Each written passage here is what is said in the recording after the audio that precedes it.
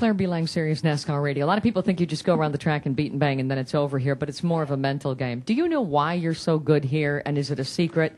And B, what do you think people don't understand about it, what it's like to race out here at Martinsville and be good at it? Uh, Quirky tracks have always worked for me, and this track certainly is that. Uh, when I first came here, the first year, year and a half, um, there's no way I thought this track would be one that I liked. But uh, in time and learning how to drive it, you know, there's just a, a there's one way to really get around here. And a lot of tracks have a lot of other options, but there's one very specific line you have to run. And when a guy finds it and he can set his car up to it, you, you go and go and go for years. And that's what Denny has been able to do. We've been able to do. Jeff has done. Uh, so I, I really think it, it falls into that category. Uh, you go to a big track and there's three or four lanes to run on. You can move around and find somewhere that works for your setup if you missed it, for your own driving style. That's not the case here. I mean, there's one way to drive this place. That's it. Okay, let's go all the way, all the way in the back. Marty Smith, and then Rusty, and then Lee. Marty Smith, uh, ESPN, kind of two parts, Johnson. Uh, the first one is what qualities does Denny Hamlin have as a driver that make him good here? Maybe you share similar ones. And second, about Harvick uh, and the 29 guys, do you see uh, more uh, from the outside looking at them as a competitor, more of a mature maturity within that group? Um, Denny here, I would say uh, he, he has a very good decision making process in the car, and that's not just here but on all tracks. And I think that's why he is uh, a threat for a championship um, you know, last year, year before, and in years to come. Uh, there's just some guys that can process all of the inputs, stress, you know, excitement, pressure, car sensations, all that, and, and make good decisions. And Denny, Denny does that. Um, Kevin, you know, those guys. When I think back over the course of last year's championship chase, they as a group, you know, as RCR, have come so far.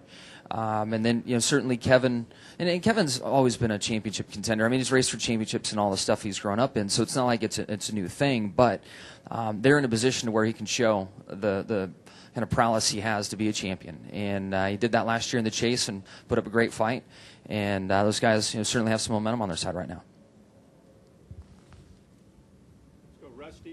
Rusty right here, and then to Lee. Rusty Ball, NASCAR Media Group. If I could just uh, ask you to look ahead next week, Texas, first uh, night race. There's a lot of excitement around that uh, night race coming up, and uh, just your thoughts going there.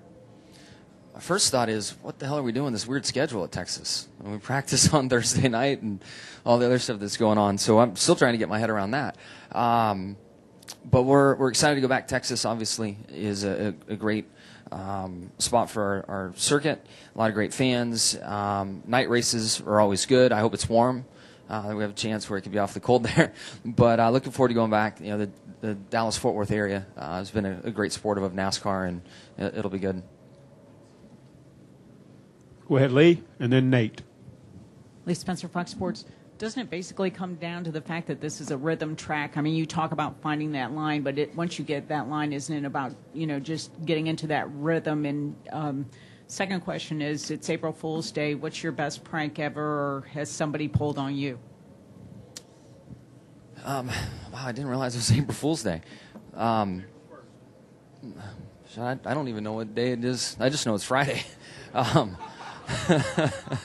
The uh, I know it's Friday and we're in Martinsville. I mean, I lost track of what day is what a long time ago. It's okay. Where are we going this week? And that, that's just the way it's been for years now. But um, except for my wedding anniversary, of course. The uh,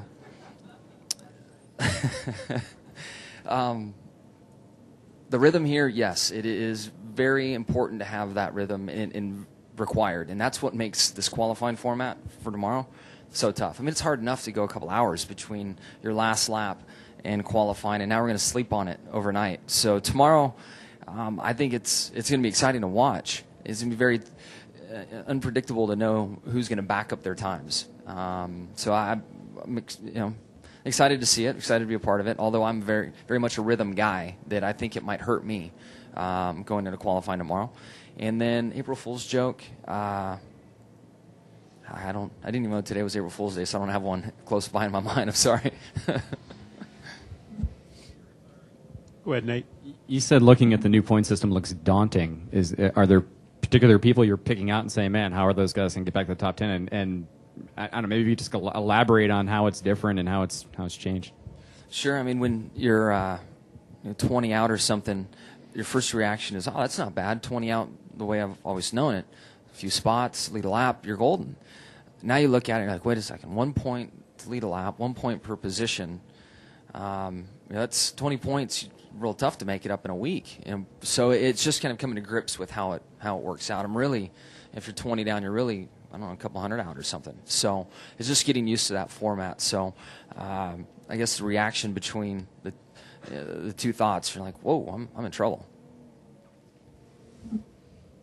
Johnny, go with Johnny and then with Joe. Go ahead, Johnny. Thank you. Johnny Buck with the Martinsville Bulletin. Jimmie, um, talk a little bit, if you would, about the importance of uh, being physically fit for this sport. You know, I know almost every driver has a, a pretty strict workout regimen off season, then try to kind of maintain during the season. And then also, if you would, maybe the balance between the physical stamina in a car compared with mental toughness in a car during a race. Yeah, the physical side is is important, and especially as these teams make the cars more durable, um, tracks are faster, speeds are higher, tires produce more grip and can last longer. Um, you know, it just puts more of a demand on the drivers. We have a long schedule, um, so it requires you being fit year round to stay on top of things.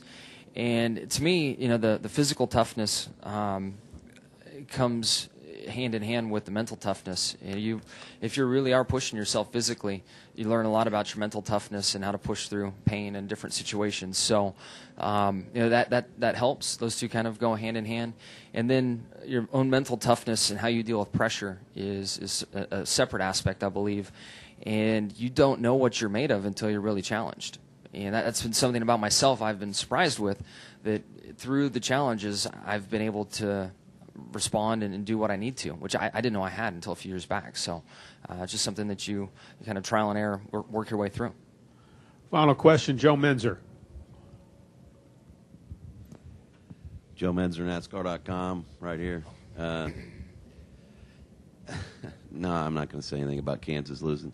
Um, you know, I'm looking at your record for Martinsville, and I mean, you've done a lot, obviously, in your career, but to come here, I guess the car broke the very first time you were here in 2002. And since Thank then, God it broke because we were running terrible. but but since then, you've never finished out of the top ten. Never. Uh, you know where when you think about that, how remarkable is that? And and I mean, did you just feel that rhythm and and get and get all that right away, instantly here, or, or what?